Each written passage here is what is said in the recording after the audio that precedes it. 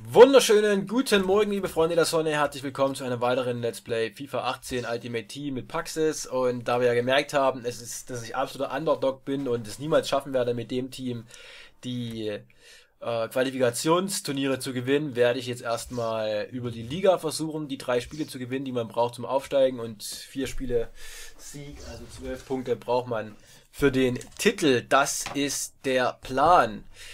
So, Kramaric hat jetzt schon keine... What? Oh, fuck. Dann habe ich mir den gekauft mit weniger als sieben Verträgen. Darauf habe ich zugegebenermaßen nicht so geachtet. Naja, aber es bedeutet einfach nur, dass ich mir halt äh, einen besseren Stürmer zeitiger hole. Und dem gebe ich jetzt mal Verbrauchsobjekt anwenden. Einen Bronzevertrag, damit ich ihn dann wieder verkauft bekomme.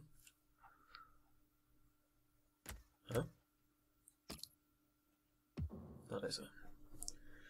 Und da ich gerade Bock drauf habe, gucke ich mal, was man rein theoretischerweise momentan bekommen würde für 2000 Maximum.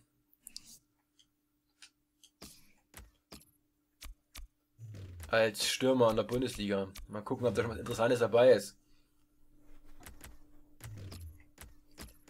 So, minimaler Sofortkaufpreis machen wir 1000. Darunter ist eh nichts Interessantes.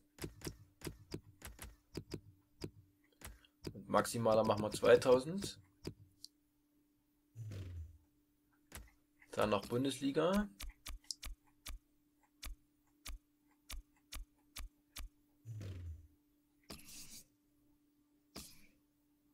Was? Ach, Maximalpreis. So.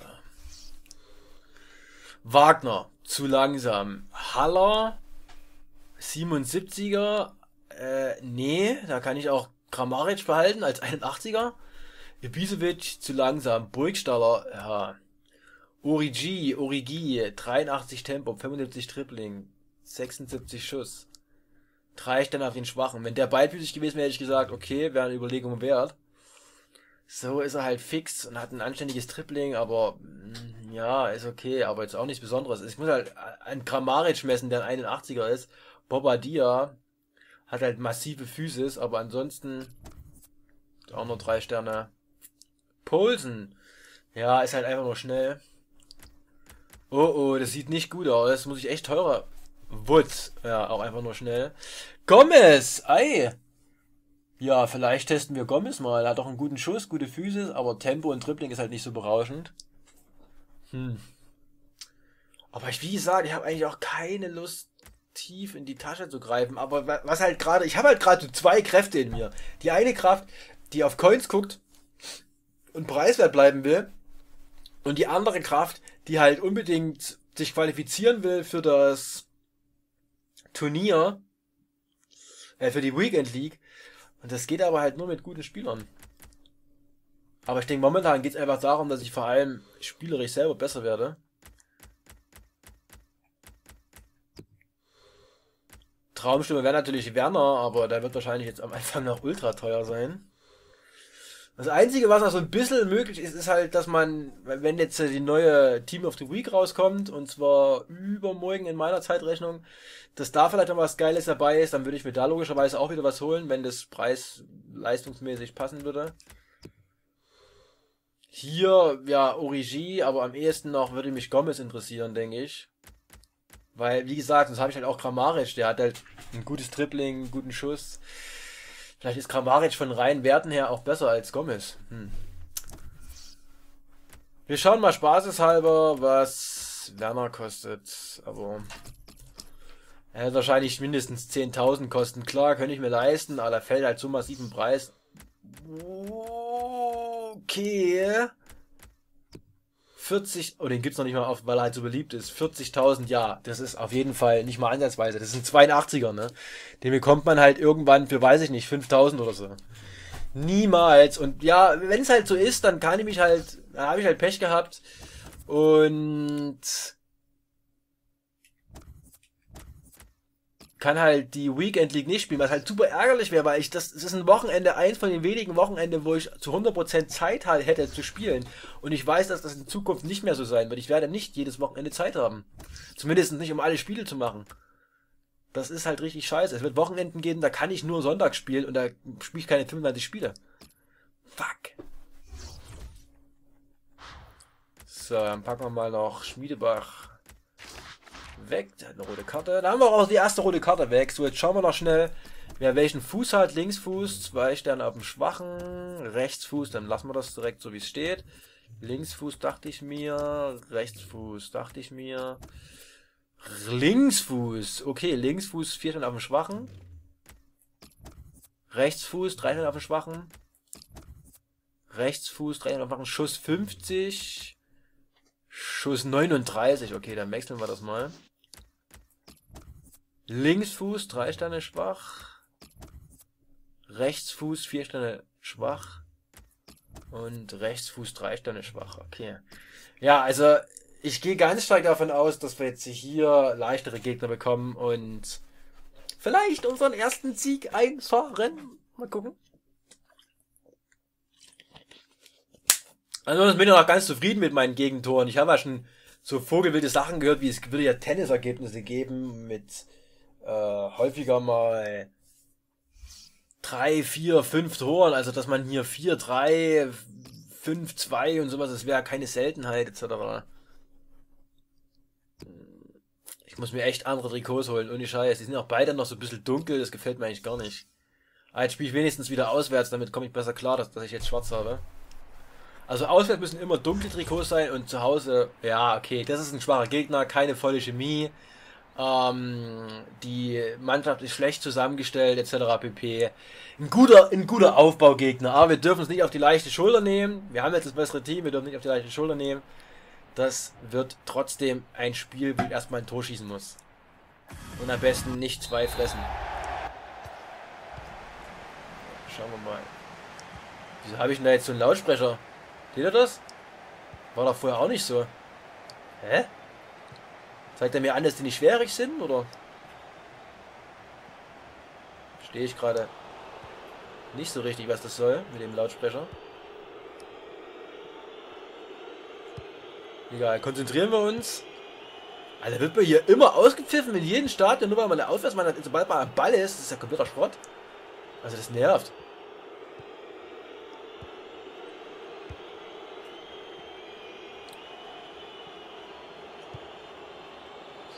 mal konzentrieren und direkt mal ein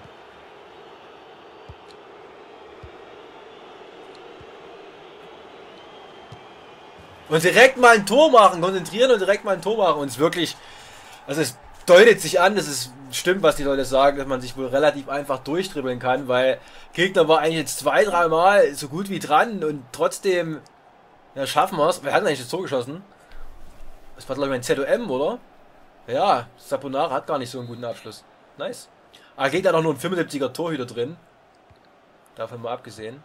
Ich werde mal versuchen dran zu denken, dass ich direkt nach dem Spiel hier meine Trikots ändere. Ich werde wohl ein helles und ein dunkles drin haben. Und werde dann, wenn ich das nächste Mal in der Web-App drin bin, wahrscheinlich direkt nach geilen Trikots suchen. Ach, wobei jetzt am Anfang sind die ja teilweise noch teuer. Wobei so billige Bronze-Trikots kriegt man wahrscheinlich auch schon für 200 Coins.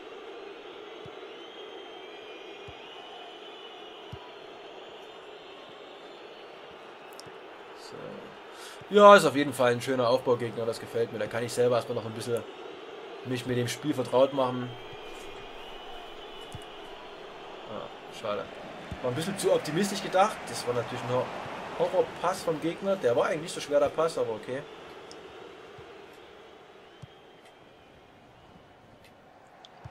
Ah, ich merke, dass ich schon ein bisschen müde bin. Also meine Augen, meine Konzentration ist schon leicht im Arsch. Oh, das sah ja aber nicht so gefährlich aus, der Schuss. Was da Miranda für eine, oder Miranda heißt das, glaube ich, für eine Parade auspacken muss. Krass.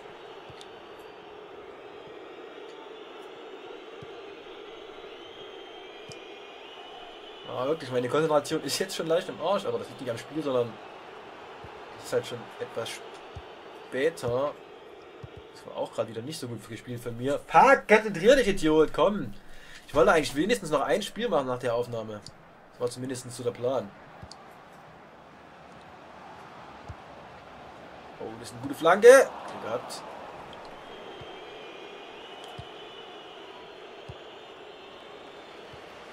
Das sind zu simple Ballverluste im Angriff. Das gefällt mir gar nicht. Das einfachere Bälle spielen. Der war gut.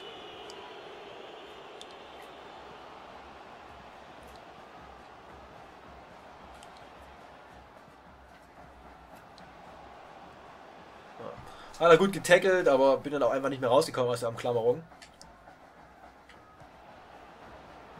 Wir haben ein bisschen Glück, leider habe ich schlecht antizipiert.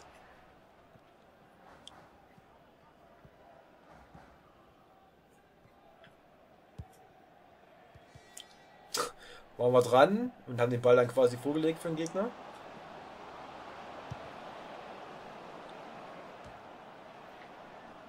Hm, gefällt mir nicht, wie es weitergeht. Wenn es so weitergeht, kann der Gegner definitiv den Ausgleich schaffen. Aber hatte ich doch gehofft, dass das nicht passieren dann. Also, dass es hier ein einfaches Spiel wird.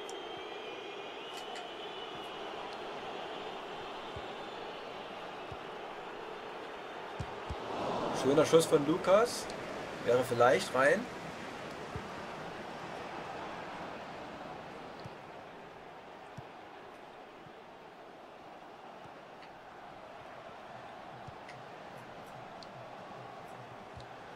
Ich brauche jetzt hier auch keine fetten Distanzschüsse aufziehen, weil ich habe halt keine, die es können.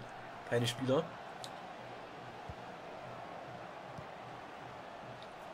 Teilweise ein bisschen hektisch im Verteidigen, der Kollege.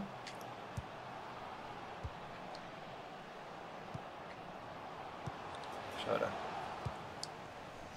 Ah, es hat mir schon besser gefallen. Schöne Druckphase aufgebaut.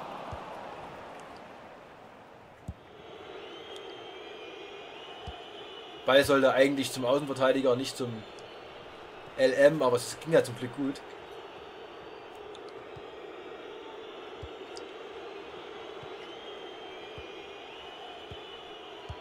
Scheiße.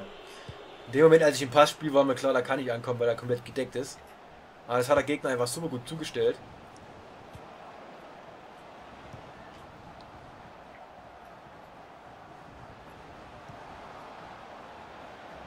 Der Lautsprecher verwirrt mich immer noch. Was soll denn diese Scheiße? Was ist denn das? Das war jetzt in den ersten beiden Spielen auch nicht.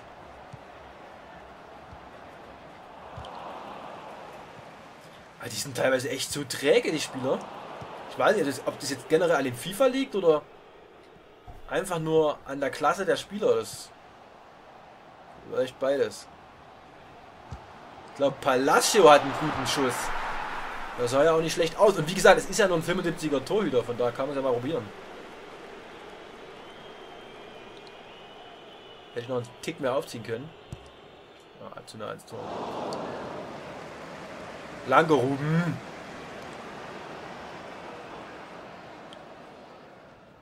Was macht er denn jetzt? Hat er Glück gehabt?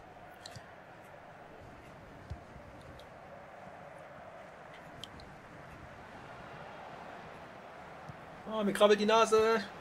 Ich muss leider eine Hand vom Controller nehmen, jetzt nicht mehr.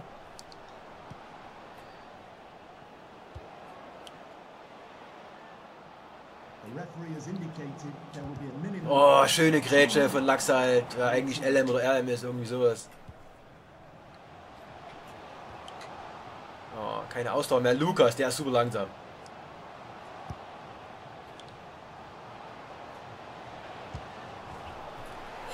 Ich dachte echt, da geht links vorbei. Ohne Scheiß.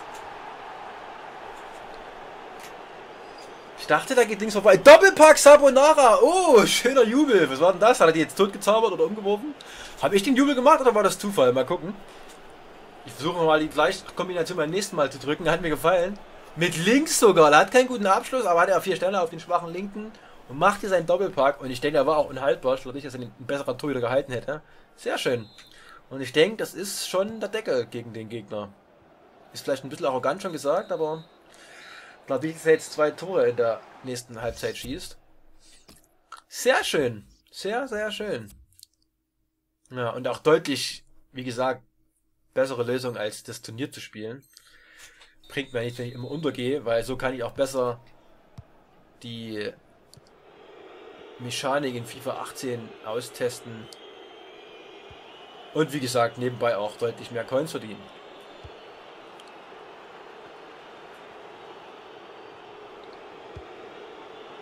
Ein bisschen Glück gehabt, dass der durchging.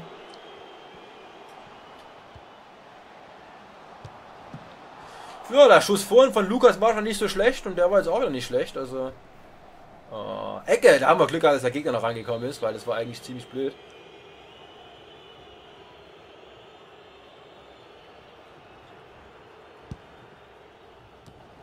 Schade.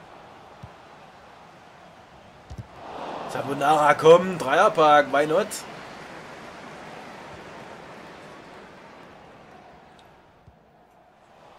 Schwacher Pass. Aber war wahrscheinlich auch nicht weniger sein Schuld als die Schuld des Spielers. Also, dass er halt da keinen, keine gute Besetzung hat.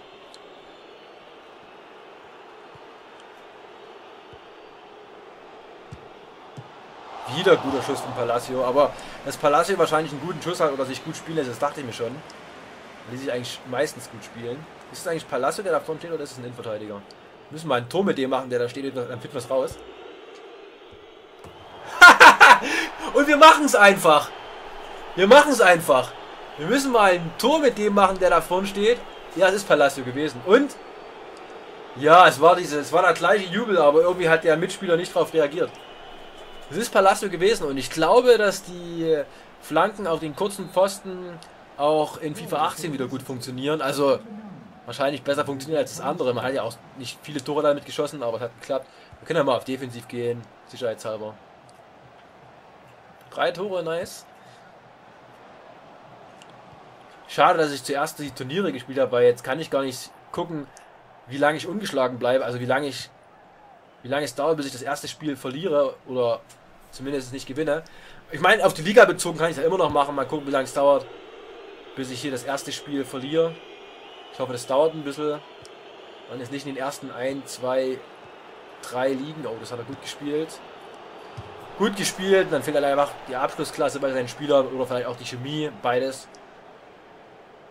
Wir gucken mal wieder, wie es auf Außen aussieht.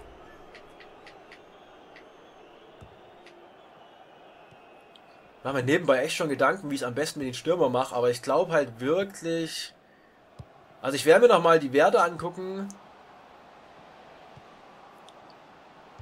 Aber ich glaube, es wird Gomez. Also ich denke, ich bin dann noch bereit, 3000 Coins auszugeben. Also ich werde dann noch mal schauen, wenn es zum Beispiel bei 3000 Coins hm,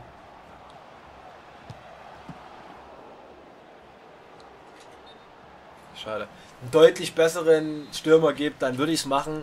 Ich glaube, ich würde sogar bis 5000 Coins mal gucken.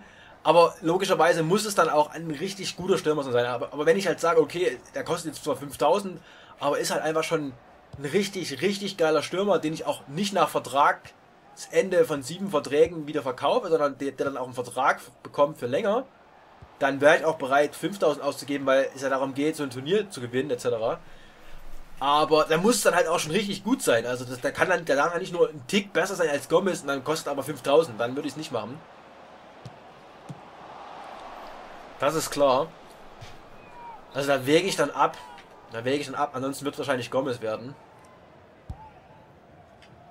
Auch weil ich ihn einfach mag und ja, ihn gerne mal spielen würde. Stürmerfaul, oder? Geil, dass mein Torhüter ähnliche Farben hat wie... Ich frage mich immer noch, was dieses scheiß Lautsprecher-Ding da soll. Er ähnliche Farben hat wie die gegnerischen Trikots. Okay, ich wollte eigentlich eins weiter zu dem hier flanken. Hat leider nicht geklappt.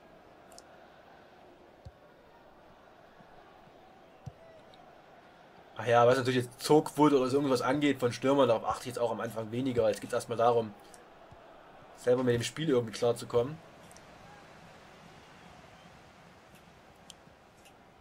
Scheiße. War nicht gut von mir.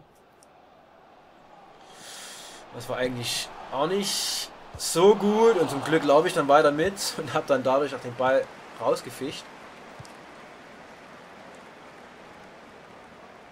Bin nicht zu 100% zufrieden, ich könnte besser spielen, aber wie gesagt, das liegt ein bisschen an meiner Müdigkeit. Oh, das war kein Foul, interessant. Wo geht der Ball hin?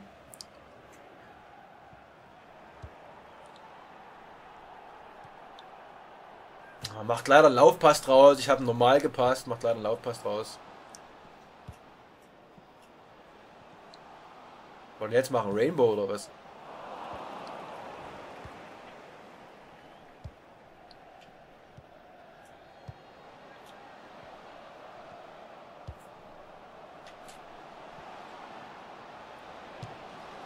Oh, wieder geil. Also die, die fühlen sich auch immer so schön satt an, die Schüsse von Palacio. Schade. Schöne Tuss, Schusstäuschung. Schön gedreht. Dann leider ein Alu-Treffer. Das wäre ein geiler Treffer gewesen. Also Palacio lässt sich echt gut spielen. Was? Das war kein Foul? Wir haben generell noch keinen Freistoß gehabt in, dem, in FIFA 18. Also zumindest für uns. Gegen uns hat man schon.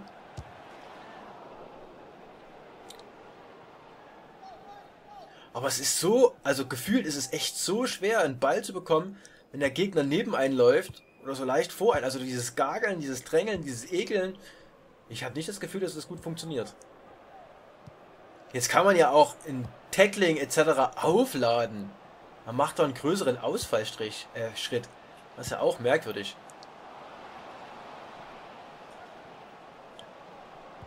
Ach, ich wollte eigentlich eine Ecke haben. Schade.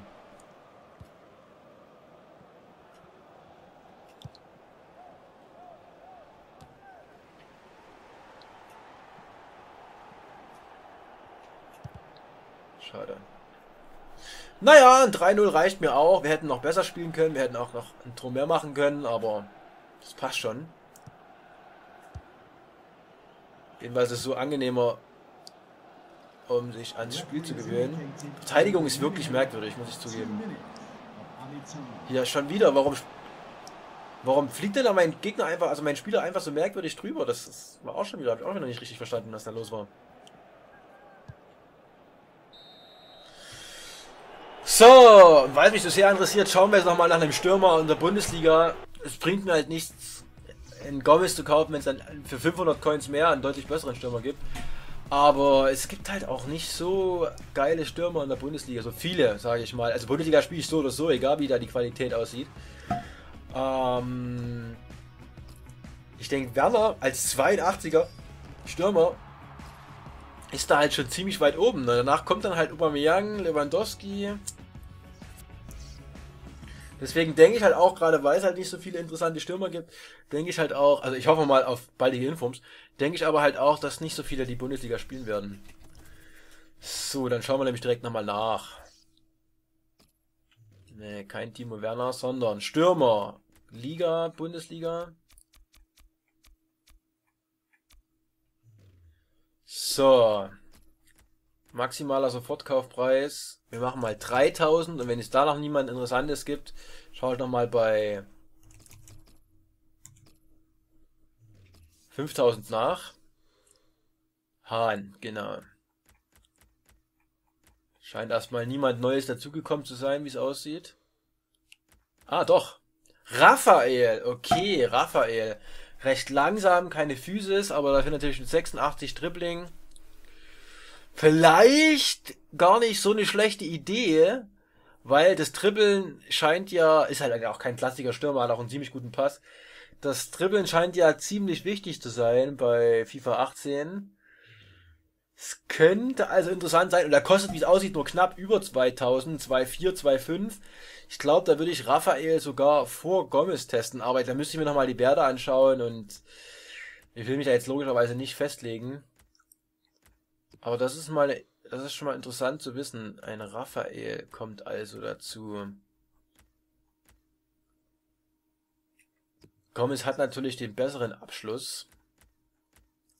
Aber ist halt deutlich trippelschwächer. Das könnte ein Problem sein. Bartels. Sehr schnell. Hm, anständiges Tripling. Wäre auch nicht, wäre auch noch interessant, ne, Bartels? Aber ich habe jetzt auch keine Lust oder Zeit, hier 100 Stürmer zu probieren. Das muss ich mir dann nochmal in Ruhe anschauen, denke ich. Ich glaube auch nicht, dass es bei, wenn ich jetzt 5000 eingebe, wird, glaube ich, kein wirklich sehr viel geilerer dazukommen. Passt auf.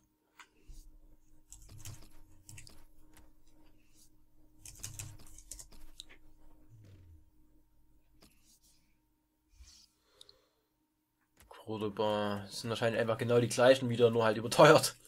Halt, Kruse, Kru Kruse war doch immer mein Mann. Kruse war doch immer mein Mann.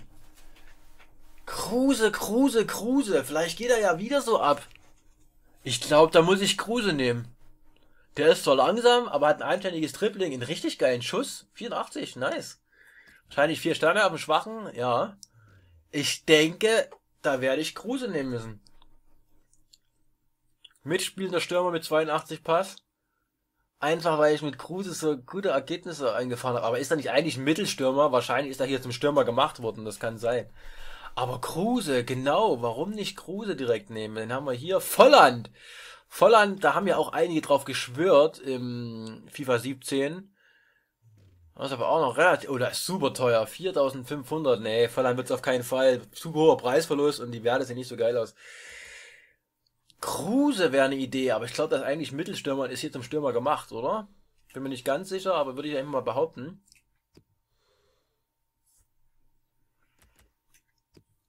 Ja, also meine Tendenz geht jetzt ganz, ganz stark zu Kruse, wenn ich ehrlich bin. Ich gucke auch direkt mal nach, was der normalerweise kostet. Und ob der nicht doch kein Stürmer ist. Ja, ich wusste, er ist Mittelstürmer und der kostet quasi nichts. Ist halt die Frage, was kostet das, Mittelstürmer zu Stürmer machen? Wahrscheinlich kostet es ziemlich viel. Und deswegen ist er dann so teuer. Also 1,5, schauen wir mal.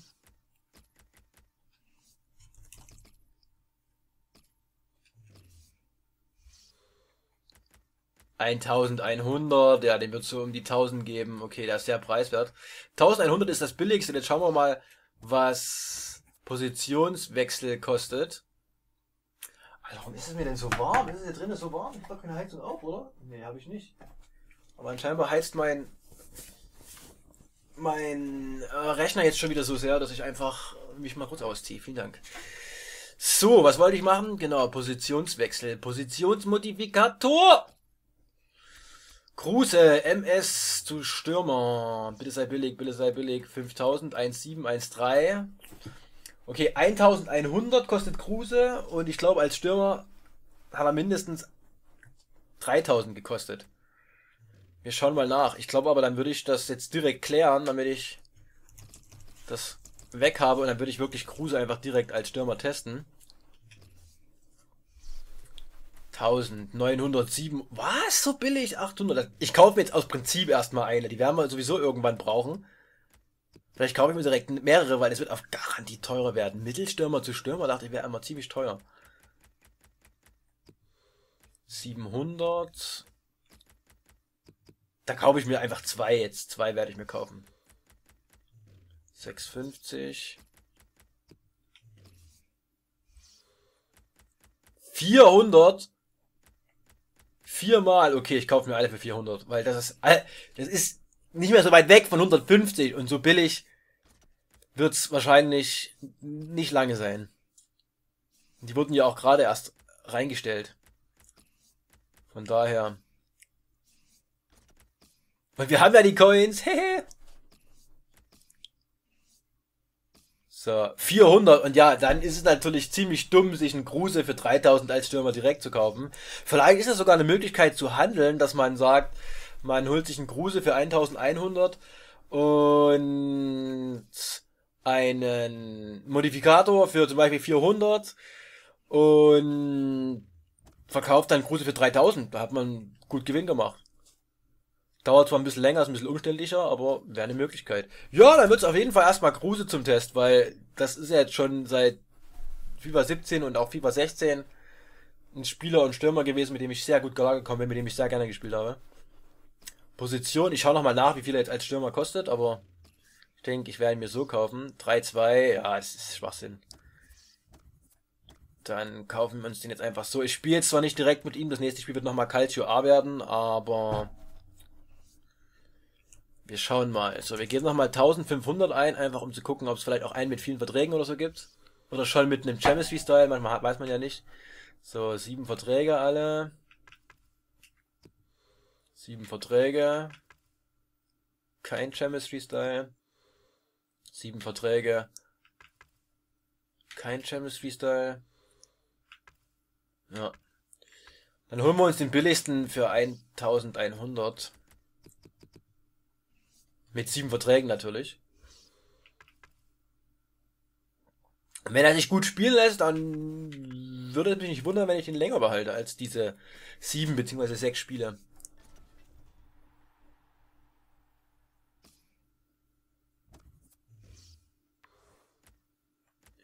In den Verein. Wir hätten eigentlich direkt die Mannschaft packen können als Wechselspieler, damit wir nicht vergessen, das mache ich jetzt direkt noch. Und wir haben wieder eine Belohnung, die wir abholen können.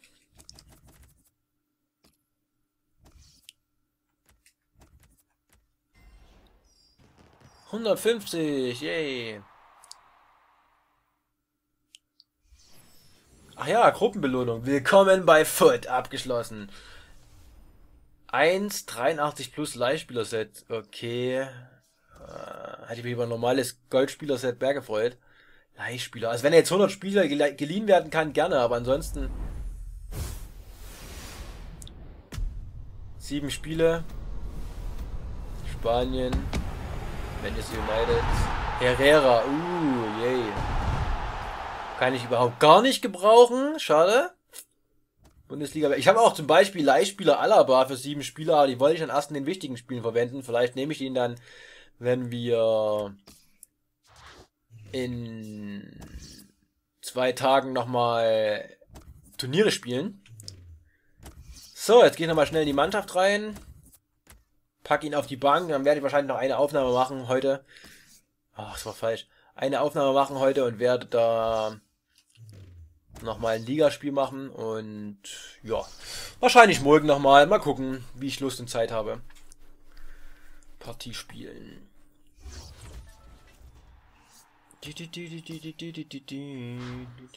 Oh, ich habe noch eine Aufgabe gemeistert und ich meine, ich hole mir dann ab. Äh, auf die Bank. Kramaric brauchen wir nicht mehr. Den können wir eigentlich auf Transfermarkt anbieten. Was ist denn der Wert? Ich denke mal maximal 600. Ne, hier war er gerade für 600. Oh, kacke. Okay, dann wird er nur 500 wert sein.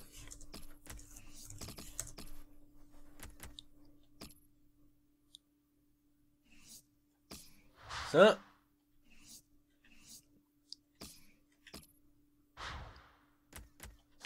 Kruse, den gehen wir auch direkt mal Position. Mein neuer Stürmer, ich freue mich drauf, hat ja auch einen richtig guten Abschluss. In diesem Sinne, bis zum nächsten Mal, Daumen nach oben, euer Paxis, tschüss. tschüss.